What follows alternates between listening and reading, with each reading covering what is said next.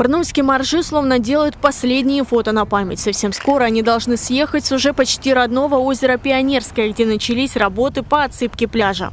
До весны до этой мы оставили э, возможность, предоставили белым медведям, они здесь вот в этих вот будках ютятся.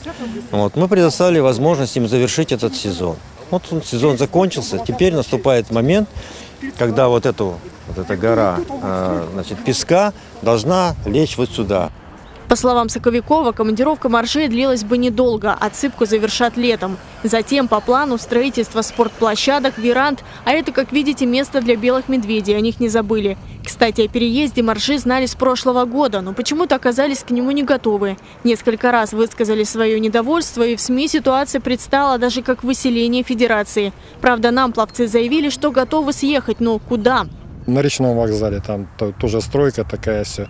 Ковши вообще там загадили. Основное вот сейчас вот у нас на казенной заимке где-то или Лебяшка, где-то туда вот. Руководитель спортшколы Олимпийского резерва по гребле на байдарках и кано Юрий Морозов сказал нашему каналу, что они уже давно готовы принять белых медведей. Нужно для этого немного, чтобы федерация подала полный список моржей.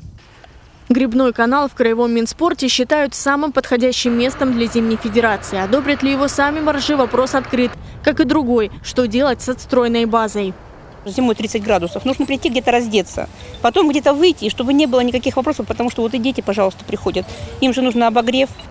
Офис, баня, раздевалки, непрочное самодельное строение, но другого у федерации нет. Оставить на территории озера нельзя, за забором растащат, боятся спортсмены, а спасать не на что.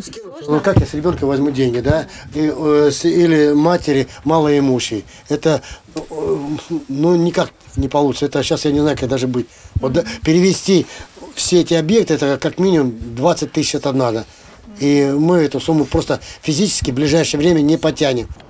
Все эти вопросы поднимут уже в пятницу на специальном совещании, где будут участвовать владельцы земли на Пионерском озере, белые медведи и представители Минспорта.